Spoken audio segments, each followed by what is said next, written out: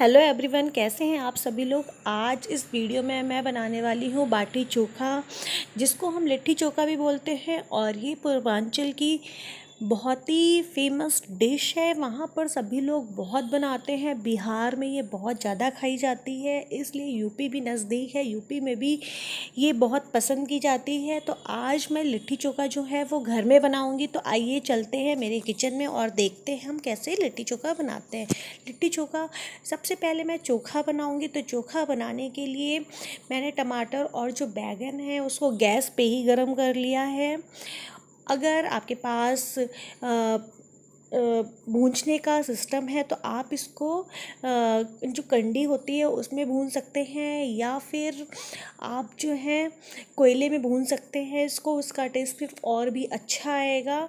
मेरे पास मैंने गैस पे भूंजा है, ऐसे भी इसका टेस्ट काफ़ी अच्छा आता है। बस इसके बाद इसको मैं मैश कर लूँगी। मैश करने के बाद मुझे आलू की ज़रूरत होगी, उबले हुए आलू चाहिए हैं। दो तीन मैं आलू इसमें फोड़ लूँगी, उबले हुए उबले हुए आलू डालने के बाद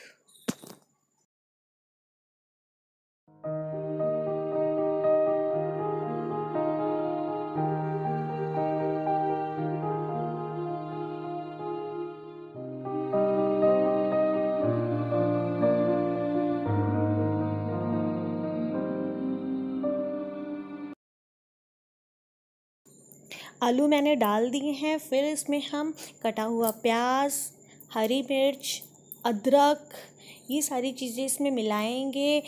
ये सब भी डाल देंगे, इसके बाद इसके अंदर हम सॉल्ट डालेंगे टेस्ट के अकॉर्डिंग और फिर आप हरी मिर्च डाल सकते हो, लाल मिर्च डाल सकते हो, गरम मसाले में आप गरम मसाला थोड़ा सा डाल सकते हो और थोड़ा सा अमचूर पाउडर भी डाल सकते हो थोड़ा सा खट्टापन इसमें लाने के लिए। और आप आधा नींबू या एक नींबू डाल सकते हो, क्योंकि जब ये चोखा खट्टा खट्टा लगता है तो और भी ज़्यादा टेस्टी लगता है। और इसको हम अच्छे से मिक्स कर लेंगे। इसको कहीं हमें गैस पे चढ़ा के कुछ तेल में फ्राई नहीं करना होता है। सिंपल आपको सब ऐसी चीज़ें मिलानी है और इसमें हम सरसों का तेल एक चम्मच डालेंगे। सरसों के तेल से चोखे का टेस्ट जो है और भी ज़्यादा अच्छा हो जाता है। बस हमारा जो चोखा है वो रेडी हो गया है, बहुत जल्दी बन जाता है। और बहुत टेस्टी लगता है खाने में और इसको आप जो है चोखा बाटी तो खा ही सकते हैं। इसके अलावा आप अगर दाल चावल के साथ ये चोखा खाएँगे तो बहुत ही अच्छा लगता है। तो चोखा आप कभी भी बना सकते हो, इसके लिए आपको इंतज़ार नहीं करना है। कि जब हम बाटी बनाएँगे, तभी हम चोखा बनाएँगे। आप कभी भी इसको बना सकते हो और बनाना भी बहुत ही सिंपल होता है। बस हमारा चोखा रेडी है और इसमें आप हरी धनिया भी डाल सकते हो। मेरे पास हरी धनिया इस टाइम नहीं थी तो बस मेरा जो चोखा है वो रेडी हो गया। इसी तरीके से हम बाटी बनाएँगे या उसको हम लिट्ठी भी बोल सकते हैं।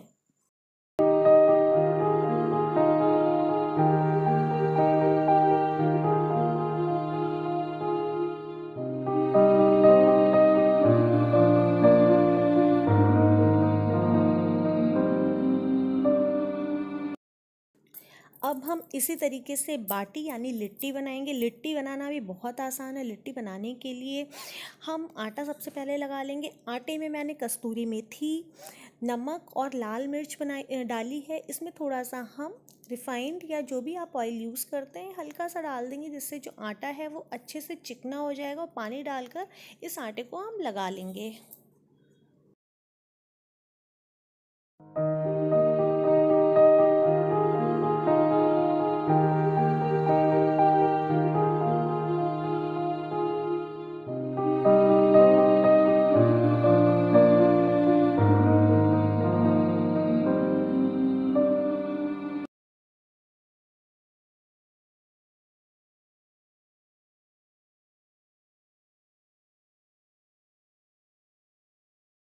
आटा हमारा लग चुका है, बहुत ही सॉफ्ट लगा है फ़ूड प्रोसेसर में बहुत जल्दी हो जाता है। इसी तरीके से हम जो बाटी है, उसका स्टफ़ तैयार करेंगे। यहाँ पर हमने काले वाले चने लिए हैं, जो काबुली काले चने होते हैं, उसको भिगो कर थोड़ा सा फ्राई कर लिया है और मिक्सी में पीस लिया है हमारा जो सत्तू है, वो तैयार है, आप बाहर का भी यूज़ कर सकते हैं। ऐसा जो है, ये काफ़ी स्वाद इसमें आता है। और फिर इसमें हम कटा हुआ प्याज, हरी मिर्च, अदरक, इसके अलावा नमक, मिर्च थोड़ा सा गरम मसाला थोड़ा सा आप चाट मसाला भी इसमें डाल सकते हो। और इसमें आप थोड़ा सा अचार जो होता है, अचार का जो मसाला होता है, वो डाल सकते हो। उससे टेस्ट जो है जो जो इसका स्टफ़ है, इसका बहुत अच्छा टेस्ट आ जाता है। बस इसको अच्छे से हम मिक्स कर लेंगे और इसमें भी हम नींबू डालेंगे। नींबू से जो खट्टापन आता है, वो अलग ही होता है। तो बस हमारा जो स्टफ़ है, वो रेडी हो गया है, तैयार हो गया है। अब हम जो आटा है, बस उसकी जो है, लोई निकालेंगे।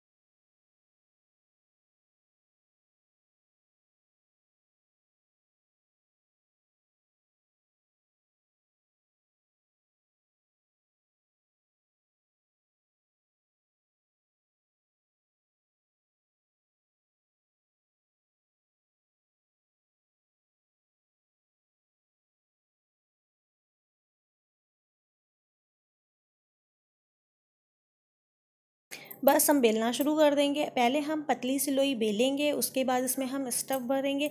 बेलने से क्या होगा, जो ये एक बराबर हो जाएगी, वैसे कुछ लोग हाथ से भी करते हैं, और इसको हम अच्छे से बंद कर लेंगे, अच्छे से। इसकी जो है लोई बना लेंगे। ऐसे ही लोई आप तैयार कर लें।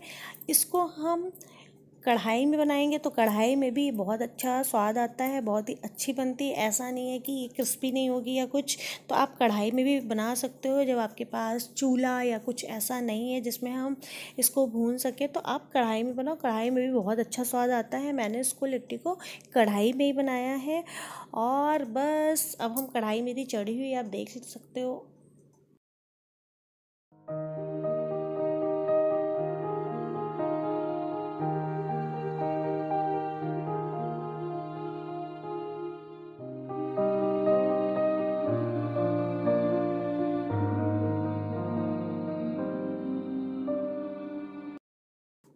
मैंने हल्का सा ऑयल यूज़ किया है और इसमें हम जितनी भी हमारी बाटी हैं, वो सारी हम डाल देंगे और एकदम हल्की गैस पर इसको होने देंगे। इस बाटी बनाने में थोड़ा टाइम लगेगा क्योंकि एकदम हल्की गैस पे ये पकेगी।